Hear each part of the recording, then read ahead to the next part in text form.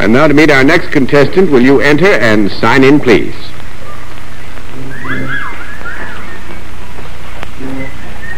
Cecilia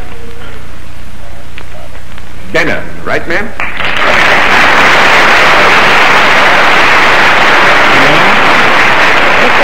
All right.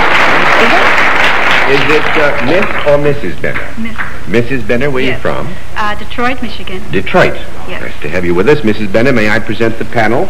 And now would you join me over here? And we'll let the audience in the theater and the audience at home know exactly what your line is.